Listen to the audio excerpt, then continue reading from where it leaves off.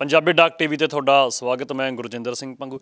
ਦਰਸ਼ਕੋ, ਲਗਾਤਾਰ ਕਿਸਾਨ ਦਿੱਲੀ ਅੰਦੋਲਨ 'ਚ ਬੈਠੇ ਨੇ। ਲਗਾਤਾਰ ਉਹ ਇੱਕ ਗੱਲ ਮੰਗ ਕਰ ਰਹੇ ਨੇ ਕਿ ਜੋ ਤਿੰਨ ਖੇਤੀ ਕਾਨੂੰਨ ਸੈਂਟਰ ਸਰਕਾਰ ਵੱਲੋਂ ਪਾਸ ਕੀਤੇ ਗਏ ਨੇ, ਉਹ ਖੇਤੀ ਕਾਨੂੰਨ ਰੱਦ ਕੀਤੇ ਜਾਣ। ਇਹ ਗੱਲਾਂ ਸਭ ਤੁਹਾਡੇ ਸਾਹਮਣੇ। ਲਗਾ ਲਗਾਤਾਰ 11 ਗੇੜਾਂ ਦੀ ਮੀਟਿੰਗ ਹੋਈ ਸੀ। ਉਹ ਮੀਟਿੰਗ ਗੱਲਬਾਤ ਬੇਸਿੱਟਾ ਰਹੀ ਸੀ। ਮੀਟਿੰਗ ਟੁੱਟ ਗਈ ਸੀ।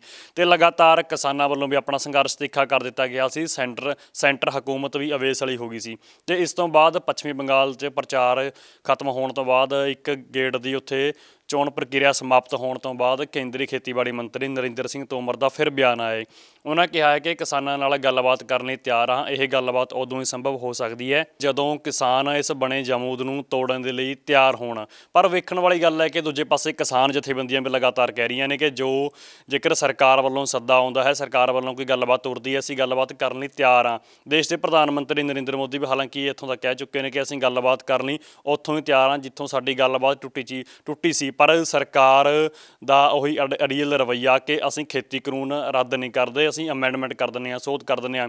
ਦੂਜੇ ਪਾਸੇ ਕਿਸਾਨ ਜਥੇਬੰਦੀਆਂ ਦਾ ਕਹਿਣਾ ਕਿ ਜੇਕਰ ਉਹੀ ਗੱਲ ਫੇਰ ਹੋਣੀ ਹੈ, ਜੋ ਗੱਲਬਾਤ 11 ਗੇੜਾਂ ਦੀ ਮੀਟਿੰਗ ਵਿੱਚ ਹੋਈ ਸੀ, ਜੇਕਰ ਉਹੀ ਗੱਲਬਾਤ ਫੇਰ ਹੋਣੀ ਹੈ ਕਿ ਅਸੀਂ ਅਮੈਂਡਮੈਂਟ ਕਰ ਦਿੰਦੇ ਹਾਂ, ਤਾਂ ਇਹ ਇਹ ਗੱਲਬਾਤ ਫਿਰ ਬੇਸਿੱਟਾ ਰਹੂਗੀ ਗੱਲਬਾਤ ਇਹ ਉਦੋਂ ਕਿਸੇ ਕਿਸੇ ਸਿਰੇ ਤੇ ਲੱਗੂਗੀ, ਜਦੋਂ ਸਰਕਾਰ ਇਸ ਗੱਲ ਲਈ ਮੰਨ ਜੇ ਕਿ ਜੋ ਖੇਤੀ ਕਾਨੂੰਨ ਬਣਾਏ ਨੇ, ਅਸੀਂ ਉਹ ਗਲਤ ਮਨਾ- ਬਣਾ, ਬਣਾਏ ਨੇ, ਅਸੀਂ ਅਮੈਂਡਮੈਂਟ ਨਹੀਂ, ਅਸੀਂ ਇਹਨਾਂ ਕਾਨੂੰਨਾਂ ਨੂੰ ਖਾਰਜ ਕਰਦੇ ਹਾਂ। ਇਸ ਤੋਂ ਇਲਾਵਾ ਵੀ ਅਲੱਗ-ਅਲੱਗ ਸਿਆਸੀ ਆਗੂਆਂ ਦੇ ਬਿਆਨ ਆ ਰਹੇ ਨੇ, ਹਰਜੀਤ ਸਿੰਘ ਗਰੇਵਾਲ ਵੀ ਲਗਾਤਾਰ ਬੋਲ ਰਹੇ ਨੇ ਕਿ ਅਸੀਂ ਇਹ ਖੇਤੀ ਕਾਨੂੰਨ ਰੱਦ ਨਹੀਂ ਕਰਾਂਗੇ। ਤੇ ਇੱਕ ਵਾਰ ਫਿਰ ਖੇਤੀਬਾੜੀ ਮੰਤਰੀ ਨਰਿੰਦਰ ਤੋਮਰ ਦਾ ਬਿਆਨ ਬਿਆਨ ਆਇਆ ਹੈ ਕਿ ਅਸੀਂ ਕਿਸਾਨਾਂ ਲਈ ਗੱਲਬਾਤ ਕਰਨੀ ਤਿਆਰ ਹਾਂ। ਬੇਸ਼ੱਕ ਕਿਸਾਨ ਜਥੇਬੰਦੀਆਂ ਗੱਲਬਾਤ ਲਈ ਪਹਿਲ ਕਰਨ। ਤੇ ਇਸੇ ਗੱਲ ਨੂੰ ਲੈ ਕੇ ਬੀਜੇਪੀ ਦਾ ਪੰਜਾਬ ਦੇ ਵਿੱਚ ਵਿਰੋਧ ਵੀ ਤਿੱਖਾ ਹੁੰਦਾ ਜਾ ਰਿਹਾ। ਕੱਲ ਵੀ ਤੁਸੀਂ ਦੇਖਿਆ ਹੋਵੇਗਾ ਕਿ ਮਲੋਟ ਵਿਖੇ ਭਾਜਪਾ ਵਿਧਾਇਕ ਨਾਰੰਗ ਦਾ ਨਾਲ ਕੁੱਟਮਾਰ ਕੀਤੀ ਗਈ। ਉੱਥੇ ਉਹਨਾਂ ਦੇ ਕੱਪੜੇ ਤੱਕ, ਉਸ ਧੱਕਾ ਮੁੱਕੀ ਦੇ ਵਿੱਚ ਕੱਪੜੇ ਤੱਕ ਪਟ ਗਏ। ਬੀਜੇਪੀ ਦੇ ਹੋਰ ਜੋ ਆਗੂ ਨੇ, ਸਿਆਸੀ ਆਗੂ ਨੇ, ਉਹ ਜੋ ਪੰਜਾਬ ਪੱਧਰ ਤੇ ਅਗਵਾਈ ਕਰਦੇ ਨੇ, ਤਰਜਮਾਨੀ ਕਰਦੇ ਨੇ ਬੀਜੇਪੀ ਦੇ ਲੋਕਾਂ ਦੇ ਵਿੱਚ, ਉਹਨਾਂ ਦਾ ਹੁਣ ਪਿੰਡਾਂ ਦੇ ਵਿੱਚ, ਸ਼ਹਿਰਾਂ ਦੇ ਵਿੱਚ